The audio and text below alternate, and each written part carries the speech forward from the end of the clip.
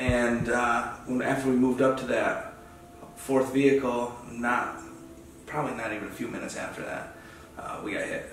We got hit with an IED, which um, I found out later on was a double stacked uh, one. It was two 155 rounds, artillery rounds stacked, and it was a command wire that detonated it. So somebody sitting at the end of a wire with a battery, uh, nine volt battery, just touched the battery to the wire and explode. Um, so we got hit, and the IED went through the bottom of the vehicle, which the Bradley's pretty armored vehicle, except for the bottom. The sides were extremely armored. The bottoms are not very armored. So I went through the bottom up into the turret where I was sitting, and Montez was standing actually on the seat. Uh, so half of his body was outside of the vehicle, and uh, it hit our fuel tank. Yeah, and honestly, if it didn't hit our fuel tank, I don't think anything would happen. Sometimes, you know, I think about how um, if I'm down in the dumps and I'm dealing with some difficult things, I'll go to St. Jude's and I'll look and I'll be like, I got it pretty darn good because for 24 years I got to live this straight and normal life. These kids, Right. they don't know what a normal life is. Normal is having your hair fall out, uh, living in a hospital, being sick. How can I say that I have it bad? I can't. It's impossible.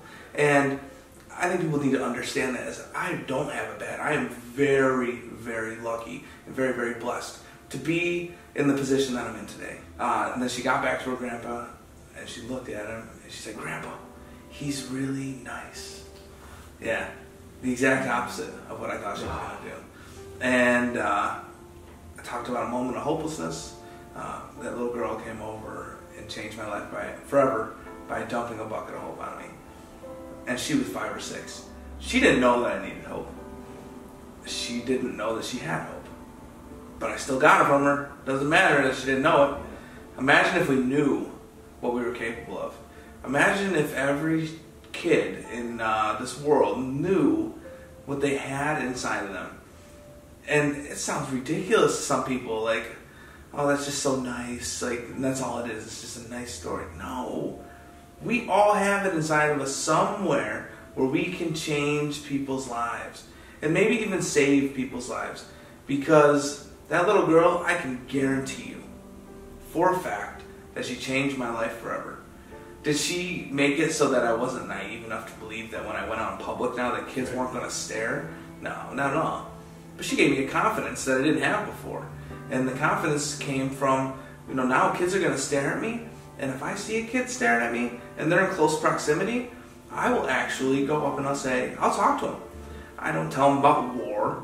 I don't tell them about Iraq. Um, I'll just start talking and wherever it takes me. Sometimes I'll say, you know, I was in a fire and I said, I bet just a little lesson out of it. I bet your parents told you to never play with fire, right? Oh, yeah. And, and instantly, like I said earlier in the conversation, he's just a man. That's what I become. I'm just another guy. Rick, I can only imagine the spirit of Amy, your wife. Can you give us a little bit of Yeah. Uh, again, first, she's amazing. I I don't know how much else it takes to explain her because she's amazing. But for a long time in my life, I didn't know if this would ever happen, and there were some dark times with that because who's going to accept me, and who's going to allow themselves to wake up every morning with me? That was tough for me. Uh, so we talked about acceptance earlier. Uh, where was my acceptance in that? And I had to find the right one, the, the perfect one. So she's amazing. She uh, brings so much to my world, and uh, and the biggest thing of that is love. Um, her family is some of the closest. That's the biggest thing in her life, and now it's part of my life as well, and I love that. Uh, she's a part of my family's life. She's just tr- truly amazing. Uh, for a long time, I would say that I wasn't complete without love, and I don't want to say I'm complete now because I still feel like I, I always have some growing to do. But this is as close as I've ever been for sure, and uh, I can't think of anything I would change right now.